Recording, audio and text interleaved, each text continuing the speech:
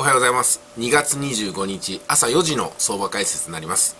いかがだったですか？昨日と照らし合わせてそして一昨日と照らし合わせて私の言う通りに動いてるでしょう、まあ、それをね今日確認しながらまあ十分な含み益を北総見ながらですねこれからの展望も見ていきましょう。それでは画面を切り替えますね。はい、えー、ご覧ください。まずはデイリーの方から見てみます。デイリーの一番最近の赤い大きな陽線がありますよね。あれは昨日なかったでしょ。でこうなるよと言いましたよね。もう一回その辺から言いますよ。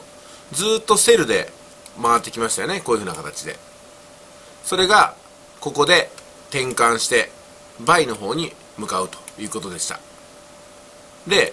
えー、こういう風に高値切り上げね高値切り上げ安値切り上げが確認できたところで私はですねここで下がってきたこの陰線がですね陽線に変わるということでこの線フォーメーション分析と言いますけどもそちらの方をお話ししました。ぐーっと上に上がったでしょ。この強い陽線が1日で出るわけですよ。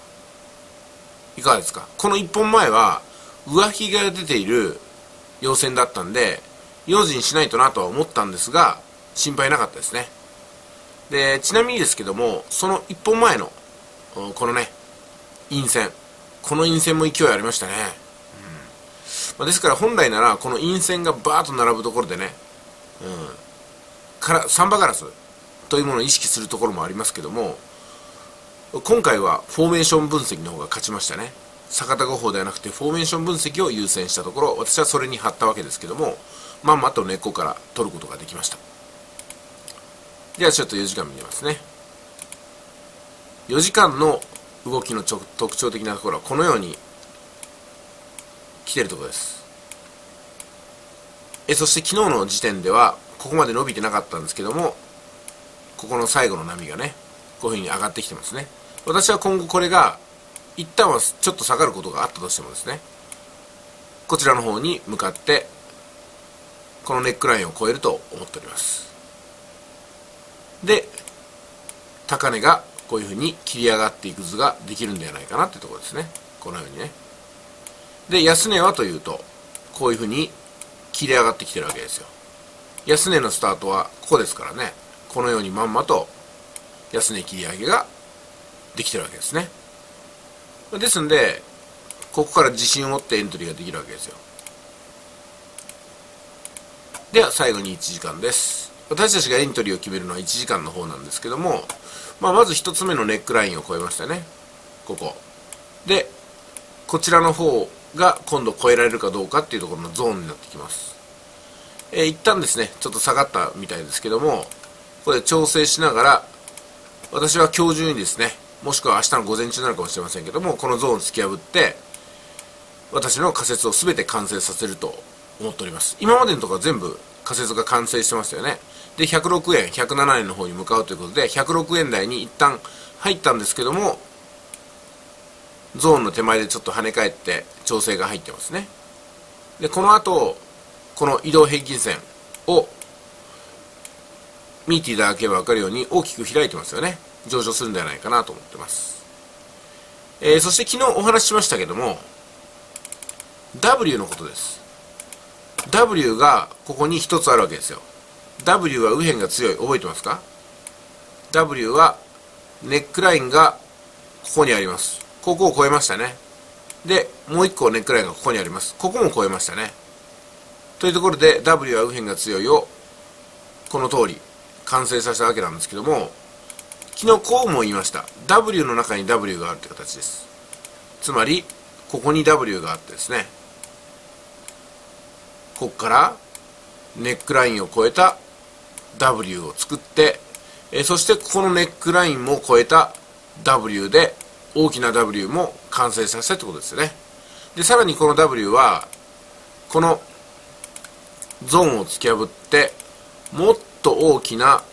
W を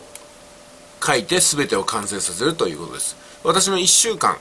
おおむね1週間ぐらいの相場解説は